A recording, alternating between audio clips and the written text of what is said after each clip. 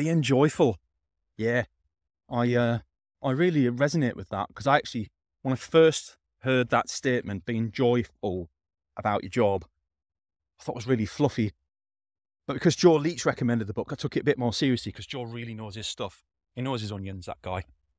And the idea is it's not about it's not about happiness because happiness is a temporary place of you know happiness it's, hard to describe it's, it's, emotions they're always hard to talk about um, happiness is mostly temporary it's a it's a result of interactions from the outside world whereas joy is about um, finding that that happiness in a way that not just happiness but like finding what it is that gives you meaning, gives you connection, gives you.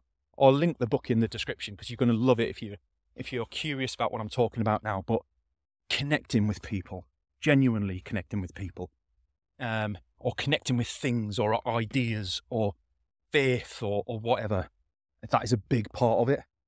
And I found that starting my business. I've found my joy doing what I do. I love doing what I do. And I want to work with people who love working with me and love their job. I've just got a new client who is a prime example of this, and he is fantastic, really motivated, really enthusiastic, absolutely batshit crazy, and has a fantastic service and product. And I can't wait for you guys to start seeing some of his content, and I will be sharing much more of my clients' content on my feed over the coming months. Um, but yeah, if you're not finding joy where you're at in your work in your daily life, that's tiring, man. That is sapping. You need to do something about it.